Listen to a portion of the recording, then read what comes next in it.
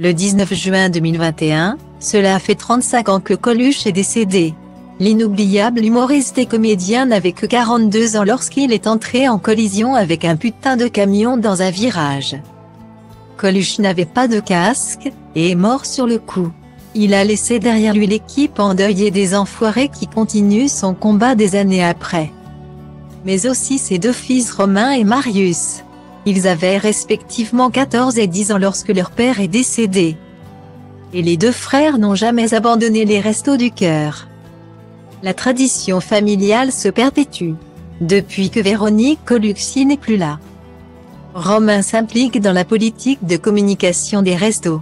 Quant à Marius, il est venu nous donner un coup de main en coulisses cette année, affirmait Patrice Blanc.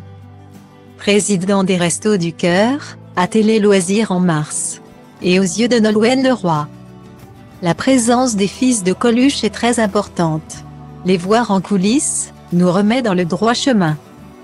On se rappelle pourquoi on est là, pourquoi on se bat, affirmait la compagne d'Arnaud Clément.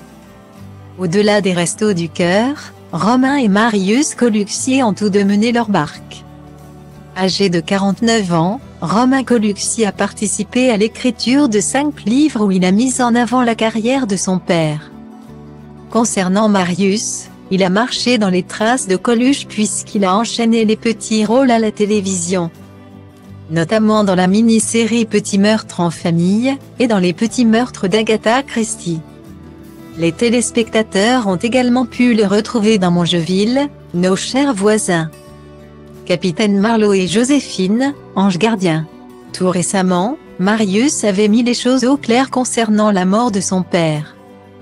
C'est un peu la même chose que pour Elvis Presley, Hitler ou Lady Di, les gens ne peuvent pas admettre qu'un type aussi extraordinaire, que mon père.